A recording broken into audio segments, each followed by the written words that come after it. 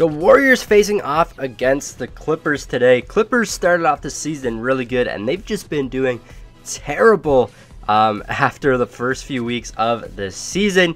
And Stephen Curry goes off this game, getting 45 points in just three quarters, only 30 minutes of play. He drops 40 five points, was which is absolutely insane. Uh, his record is 54 points, and he had a chance of beating that, but they were up by so much, uh, just destroying the Clippers. They decided to take uh, Curry out of the game. Didn't play him anymore after the third quarter. He did hit eight threes in this game, though, shooting 8 for 16 from the three point line, 50%, and 11 for 21 from the field goal. So insane game for Stephen Curry.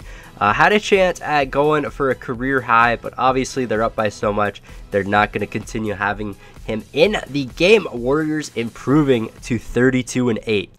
Turn it over, Curry for three, bingo. Right hand, not saying he can't go right, but but and, and this is the thing, it's it's the third quarter. Oh me, oh my